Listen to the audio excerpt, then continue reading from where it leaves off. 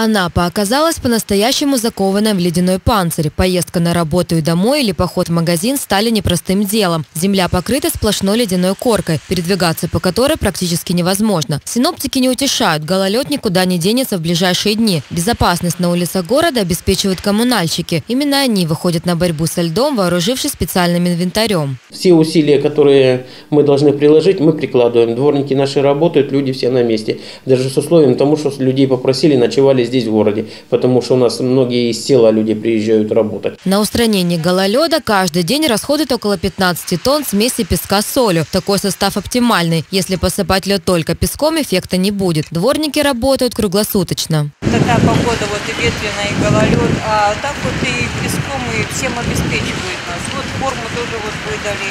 На каждом участке вот рассыпается вот песок, чтобы было везде просыпано, все нормально было. Запасы песка уже готовы на последующие дни. Пока погода будет держать город в таком же ледяном состоянии, коммунальщики продолжают посыпать улицы Анапы, чтобы жители безопасно ходили по дорогам и тротуарам.